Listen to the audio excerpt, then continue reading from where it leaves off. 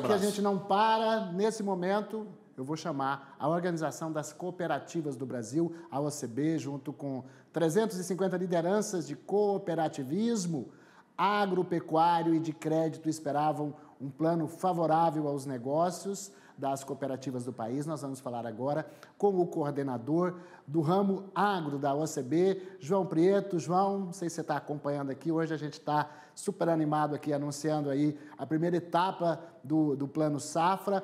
A OCB esperava um montante mínimo de 400 e 10 bilhões de reais para o plano de hoje. Foi anunciado aí 364 bilhões de reais. E como é que fica a expectativa para amanhã, mas já analisando hoje também? Bem-vindo, boa tarde. Boa tarde, Valdendo. É um prazer estar aqui com vocês novamente. Um, abraço a todos que nos ouvem nos assistem também por todo o país. É, a expectativa, como você muito bem mencionou, né, dos 410 bi, é, que nós propusemos aí, que nós é, contribuímos com as propostas do sistema cooperativista, ela englobava também as propostas da agricultura familiar, né, do Pronaf. Então, ainda nossa expectativa está de pé de, inclusive, esse montante ser superado, né? Então, acho que a gente tem que, primeiro, é, celebrar todo o esforço que foi feito aí pelo Ministério da Agricultura na busca desse montante robusto de recursos é, que vão estar aí à disposição a partir do próximo mês aos nossos produtores rurais e às nossas cooperativas. E a expectativa é que o plano ele se robusteça também com a divulgação que vem amanhã, é, trazendo aí as, as linhas e as especificidades que tratam especificamente dos agricultores familiares e também das cooperativas da agricultura familiar, que tem uma função muito grande aí de agregar renda à produção do pequeno produtor cooperado e também garantir aí o abastecimento de alimentos para toda a nossa população. João Preto, a gente tem as informações que devem ser anunciadas amanhã, 75 bilhões de reais para a agricultura familiar. Qual é a sua avaliação sobre esse montante e as expectativas? Esse montante está bem estreito com o que nós é, propusemos em relação ao Pronaf. Então, sim, é uma expectativa bastante é, positiva. Aí precisamos aguardar as questões é, operacionais, né? Como que vai, é, virão as taxas de juros.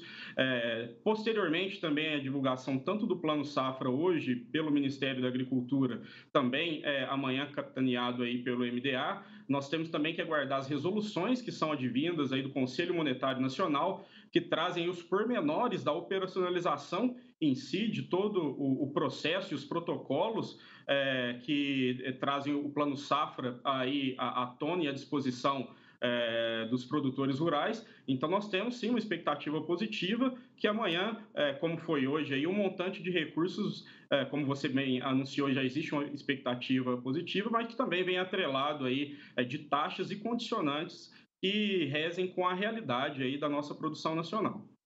Para você analisar, o Prodecop, que é o Programa de Desenvolvimento Cooperativo para Agregação de Valor à Produção Agropecuária, recebeu 1 bilhão e 900 milhões com até 11,5% de juros ao ano. Como que você avalia o cenário atual com a necessidade de fortalecer produtividade, processamento e exportação das cooperativas?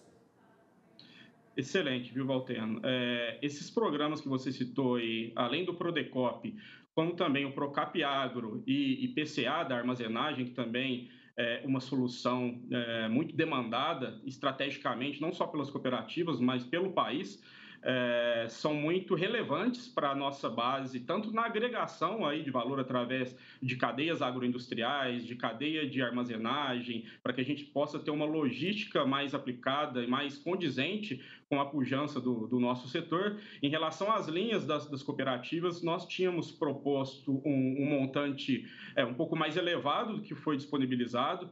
É, inclusive, é, foi um pouco aquém, inclusive, do que foi divulgado no último Plano Safra, né, no Plano Safra vigente, para ser mais, mais preciso, mas é importante também é, trazer aqui a, a, consideração em relação ao trabalho do Ministério de manter essas linhas aplicáveis e à disposição é, da nossa base. Então, reforçando essas linhas estratégicas aí para as cooperativas, elas vão diretamente aí ao encontro é, do que o governo está propondo aí de agregação de renda ao pequeno produtor rural, que é a grande base é, formada pelas nossas cooperativas, de levar renda a essas famílias e, em contrapartida, o setor trazer uma, um alimento de qualidade, trazer um produto agropecuário de qualidade, tanto para a mesa do nosso consumidor nacional, mas também aí é, para todo mundo, né? visto que o nosso agro exporta para os mais diversos continentes, atendendo a requisitos aí socioambientais e de qualidade que esses mercados exigem.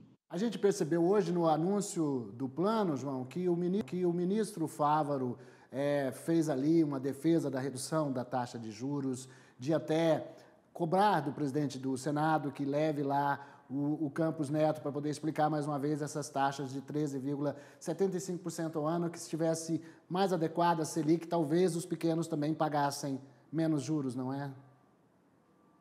É, essa taxa de juros da, da, Selic, ela impacta diretamente na formulação de todo o plano safra, seja ele é, de médios e demais produtores ou do pronafiano, do pequeno produtor, do agricultor familiar também.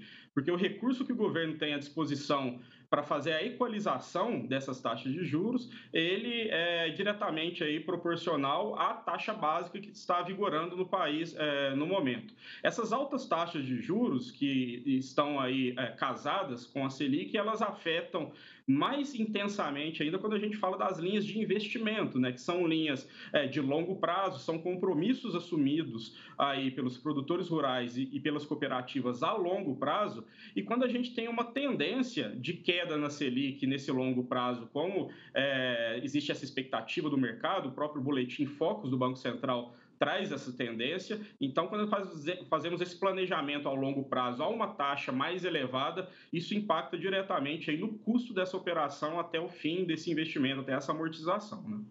Para finalizar a sua participação, quantos produtores brasileiros hoje trabalham no sistema associativo? Qual a importância disso para a produção de alimentos? Walter, hoje nós temos associados às nossas cooperativas agropecuárias é, mais de um milhão de produtores rurais é, cooperados.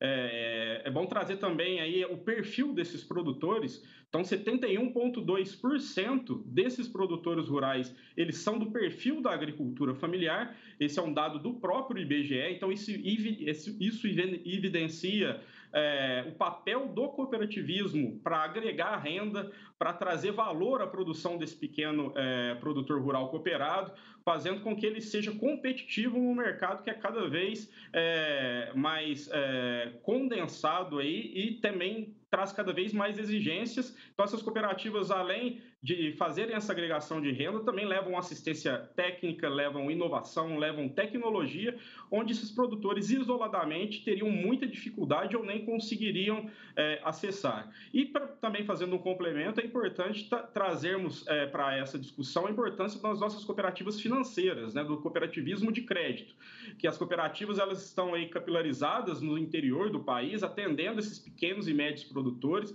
então fazendo que a política agrícola alcance é, esses produtores é, de menor porte em todas as regiões e todas as cadeias produtivas. Então, o cooperativismo ele traz esse complemento tanto do produtor rural ali que está junto às cooperativas agropecuárias, mas também aí aquele que acessa suas cooperativas de crédito para conseguir aí é, ter o acesso às linhas do Plano Safra de forma mais competitiva e adequada para o seu perfil. João Preto, muito obrigado pela sua participação. Você que é coordenador de agro aí da OCB, a Organização das Cooperativas Brasileiras. A gente vai continuar a semana toda aqui, fazendo repercussão, debatendo. Certamente você vai integrar novamente aqui o nosso time de analistas. Muito obrigado pela sua participação. Boa tarde, Valtendo. Ficamos aqui à disposição.